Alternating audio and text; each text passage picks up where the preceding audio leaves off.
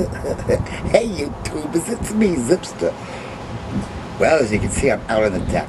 It's like one of those beautiful days where it's totally going to be spring now. The trees are all blooming around here. It's great. Windy as a bitch, though. I'm sure you can hear it blowing against the microphone of the camera.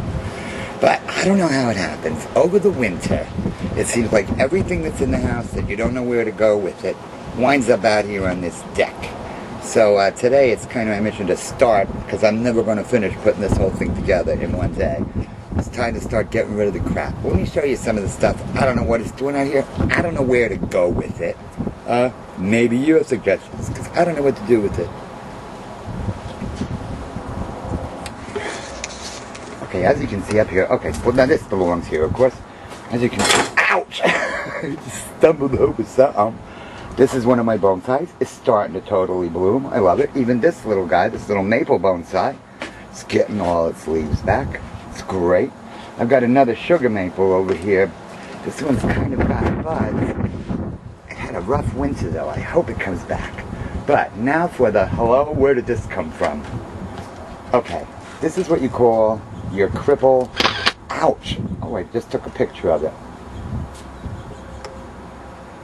Whoops, that's uh, that was the wrong way. This is what you call your cripple or old people put it in the shower chair, so you can like slide in from outside the tub. Blah blah blah.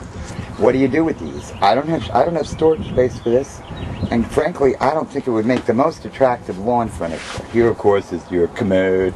There was come in handy. I think I might have room for that somewhere, but that wouldn't look real good on the front lawn either. Then, oh, look at this mess. These are all just like perennials, or yeah, perennials, or are they annuals? I don't know. The ones that only come up every year. These are all full of plants, so now they look at this. Dead plants all over the place. Dead planters. We gotta clean all this crap out. Okay, this is the killer. Here's our Christmas tree from this year, if you remember it. Totally fake.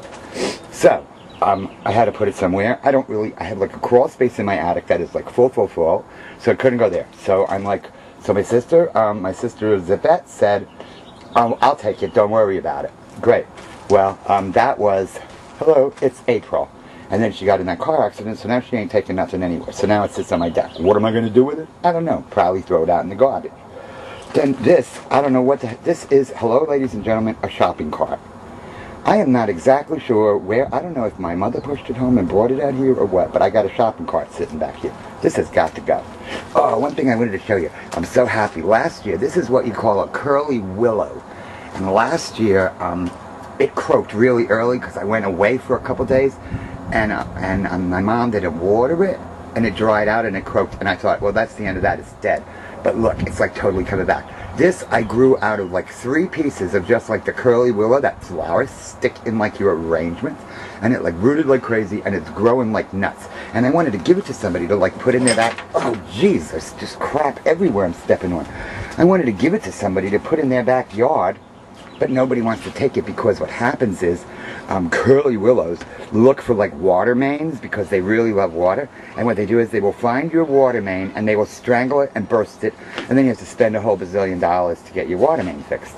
Anyway as you can see I've got a little bit of a job back here. Just it's like brooms and rakes and every season of the year and it's driving me crazy. But uh, that's what I'm going to be working on today so, I will totally give you a progress report because I'm, I'm going to be like, I'm going to be vlogging from out here like the whole summer long. I ain't going to be stuck in that house.